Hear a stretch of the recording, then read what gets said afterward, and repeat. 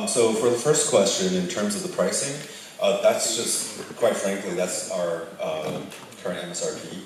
Um, whether or not there will be discounts in the future, I can't comment on that. I feel kind of useless that I can't really answer the questions. we changed our GeForce branding to NVIDIA GeForce RTX. It's not going to be a spot thing, right? You don't just change it for a product. So yeah, we'll definitely be using RTX as a brand moving forward as well. And to be perfectly honest, because RTX to us, like I mentioned before, yes, it's ray tracing, but it's also NGX and all this other stuff as well.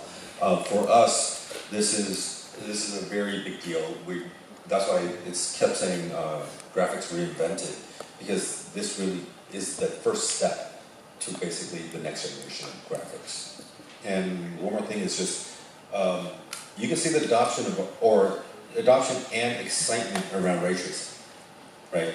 In the past, sometimes you hear uh, companies talk about future technologies, how it might look great.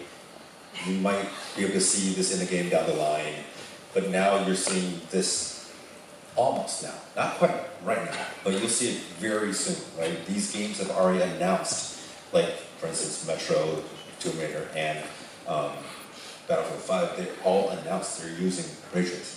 And in terms of mining, uh, we've actually seen there's a, given the cryptocurrency prices, whatnot, mining isn't as hot as it was a year ago, right? So uh, we fully expect, you know, the product to be available for gamers.